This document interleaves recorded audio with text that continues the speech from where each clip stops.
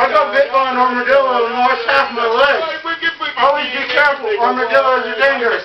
Bye.